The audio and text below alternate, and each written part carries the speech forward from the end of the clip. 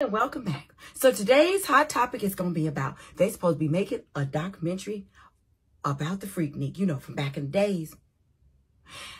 And wait right there. You don't want to miss this. I use this liquid blush by SHEGLAM, and it is the, it's in the shade Love Cake. Now, my daughter called me and she's like, Mom, you know they're making a documentary about uh, the Freaknik from back in the days. Weren't you there? I said, what you say? She said, were you at the Freaknik back in the days? I said, yeah, let me call you back. She said, wait. I said, well, I, I, I'll call you right back. I called one of my girlfriends. I was like, girl, you know they making this movie about the Freaknik. She was like, yeah. I was like, whoa, whoa, whoa, whoa, whoa, whoa, whoa. What? What?